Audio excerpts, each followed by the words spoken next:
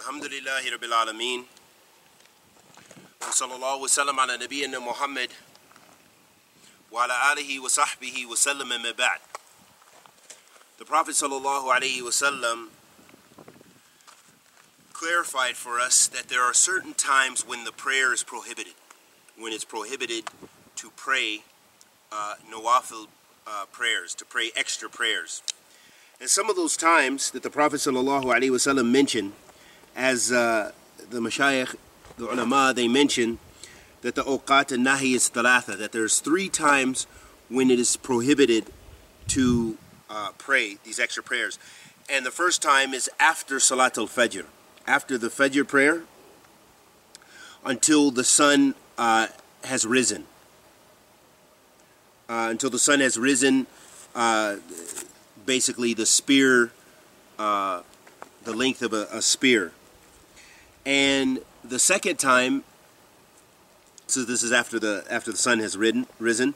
The second time is there's a time when it is after Salat al-Duha, between Duha and Dhuhr, by just a, a little bit of time before Dhuhr, there's a, a, a specific time where uh, it is considered one of the times that are manhiyun anhu, that is prohibited to pray during that time until the sun, uh, till the end of it, has it has begun to uh, the end of the sun rise for the for the close to the dhuhr time.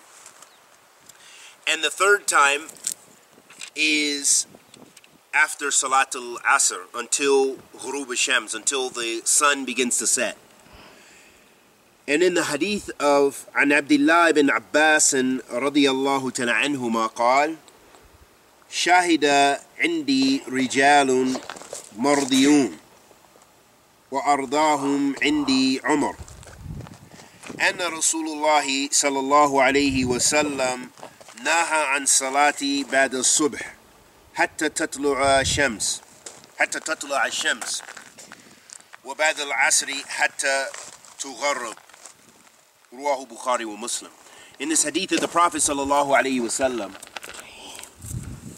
the Prophet alayhi salatu he prohibited two times for the prayer. And this is the hadith of Abdullah ibn Abbas radiallahu ta'ala anhu. He said that the Messenger of Allah sallallahu prohibited prayer, salat, after Fajr until the sun has, has risen, and after Salat al Asr until the sun has set. And this is collected in Bukhari and Muslim. And in another hadith, عن أبي سعيد الخدري رضي الله تعالى عنه عن رسول الله صلى الله عليه وسلم قال لا صلاة بعد الصبح حتى ترتفع الشمس ولا صلاة بعد العصر حتى تغيب الشمس رواه بخاري ومسلم In this hadith, the hadith of Abi Sa'id al-Khudri radiyallahu ta'ala anhu, he said that the Messenger of Allah sallallahu alayhi wasallam said that there is no salat after the Fajr, after the Subh, until the sun has risen. And there is no salat after Asr, after the Asr prayer, until the sun has disappeared, meaning Ghurub Shams. And that's in Bukhari and Muslim. Both of those hadith illustrate for us that of the two times that we mention, which are the well-known times where the prayer is prohibited. The first being, the first time is after Salat al-Fajr. When's the first time? After Salat. After Salat al-Fajr, it is prohibited to make uh, nawafil prayer. And the second time is after Salat, which Salat? When's the second time it's prohibited? That is mentioned in these two hadith. Asr. After Asr, Jazakallah khairan. So after Asr, if you see someone standing up to pray extra prayer, you should first you you may have husn al that maybe they're making up qada because there is uh, perhaps they're making up something or uh, a missed prayer or, or something like this. But generally, there is no nawafil, and this is where the ulama they differ with regards to this issue about what prayers, for example, after Salat al-Fajr, when you see people, because a lot of people, because they miss Salat, uh, the, the Sunnah of Fajr, which the Prophet ﷺ never missed, alayhi salatu wasalam, is a very important Sunnah, Sunnah Mu'akkid, Mu'akkida, that the Prophet ﷺ didn't miss. So you should always pray the Sunnah of Fajr. Which Sunnah should you pray, Abdurrahim? The sunnah of Fajr. Jazakallah khairan. You should always try to pray the Sunnah of Fajr. And how many rakats is that? Two. Two. Good. And of course, Fajr prayer is how many rakats, uh, Abdurrahman? It's two. Uh huh. Good. So, the Sunnah of Fajr is rakatain, is two rakat. And you want to, as, as we mentioned, if someone misses that, then there is a hadith to support that the Prophet ﷺ, uh, you know, made uh, the Fajr after that time. So there, from the fi'l of the Prophet ﷺ, that there is evidence to show that he, wasalam, that it's permissible to make it after Fajr. But something that we need to illustrate here for our, without getting into the ikhtilaf and the, and the uh, what's Imam Shafi'i said about the fi'l asbab, the, those those salat that have a special purpose, like salat al istikhara and, and so forth, that there is no limit, that you can pray those in the nahi, and of course salat al janaza. But there's ikhtilaf with the ulama those things. We're not going to really get into the uh, an in-depth look at their ikhtilaf, but instead we're just going to know that bi'idhnillah, the most correct is that it is permissible to make things like salat al-istikhara during the waqt al-nahi. Or, you know, for, for some necessity like that. Or, of course, making qada. And in fact, if you miss your sunnah of fajr and you pray it afterwards, this is qada. You're making qada of the fajr uh, uh, sunnah because that sunnah is supposed to be before the salat al-fajr. And along with that, something that we need to make tanbih of that that's very important is that when for the person who misses that sunnah often do not make that part of your regular activity that you make it up after the, the fajr. So this is a problem.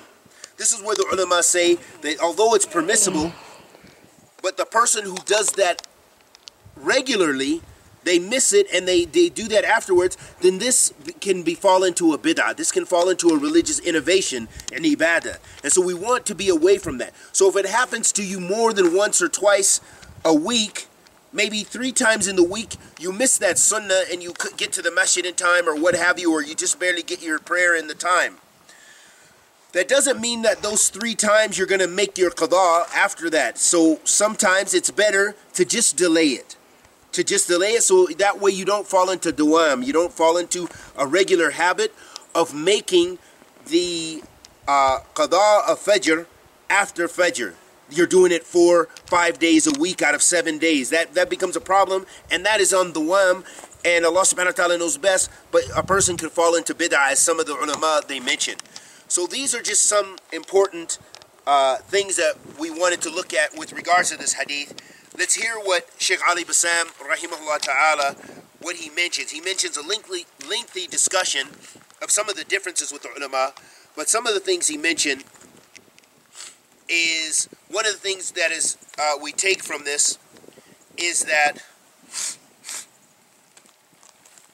one of the things the Sheikh mentions, rahimahullah ta'ala, is the prohibition of the nawafil uh, salat mutlaqa after Salat al-Asr. That after Salat al-Asr, that just standing up and praying rakatain or arba rakat or something like this is not is not permissible. It's prohibited. And this is what we get from those two hadith of the Prophet sallallahu alaihi wasallam is that it is not permissible to do that. Uh, and again, unless a person is making qada or some specific specific haja, then they should avoid uh, trying to make prayer during that time also uh, another benefit is that the Sheikh said that one of the things that we understand from this hadith, it gives from these two hadith, is it, it illustrates for us the illah or the reason for the prohibition. And the illah here, or the reason is that it is out of fear from resembling uh, disbelievers. And that is and that is taken from the prohibition of resembling those other nations that that and and following them. As the Prophet sallallahu alaihi wasallam said, "Man tashabbaha biqawmin fahuwa minhum." Whoever resembles a people, then he is from them. So that shows us in general that we should not resemble in holidays, in dress, in um, of course in ibadah first and foremost, and in general cultural habits and we ask Allah the Almighty to accept our good and forgive our evil. Anything I said that was correct was from Allah. Anything I said that was incorrect was from myself and the shaitan. Wa sallallahu wa sallam ala nabiyyina Muhammad.